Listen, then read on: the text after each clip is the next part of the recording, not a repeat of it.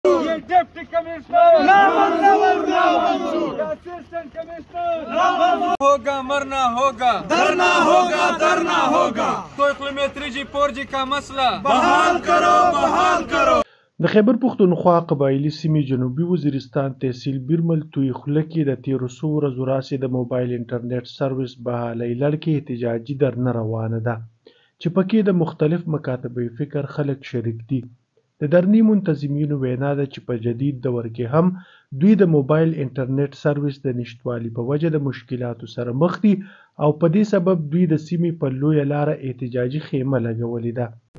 او موږ په دې روډ په غاړه باندې نن یوویستمه ورځ ده چې درنم کړې ده، تقریباً تین هفتې پوره کیږي.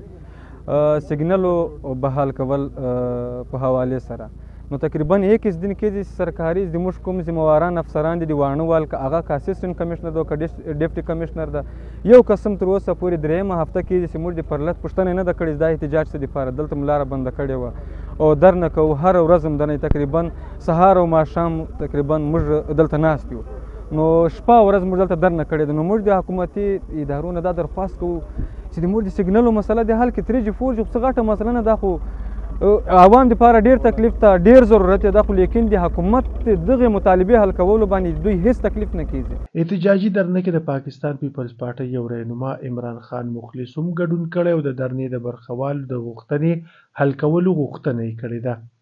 نو حکومت دی سره ضد کو چې دی دمتونای په غد اف سی آر په نظر کسی چې څلوېښته مې دو نو ویس چونکه حالات بدل شوی دی په 2018 کې 25 و ترمیم وشو د پاکستان د آئین ایسا د خلق جوړ شو نو ویس په کوردادو چې دای په دا منځ کې چې کیم نفرتی نه دی یا کیم فرق دی دا دای پریږدي او ډي سي صاحب او اې سي صاحب او سیول انتظامیه غونډ نن په دا خبره باندې غور وکړو د دې سره د مذاکرات وکړو او دا د مذاکرات خالتي دا محب الوطن پاکستاني دي او لهذا چې داس نوي چې دای دا خبره به غور کو نو بلارز په وخت نه بعد دی په مشوره سره بیو ان شاء الله دا درنا صرف ته دی زی پر مې دودا نه وی بیو دا د ببل ګټ ته هندري د عمران خان مخلص په شمول د درنې د برخوالو تور دی چې د ضلعي انتظامیې له لوري د درني منتظمینو سره د مذاکراتو نه کولو نه واضحه ده چې قصداً د دې ځای خلک پسمانده ساتل شوي.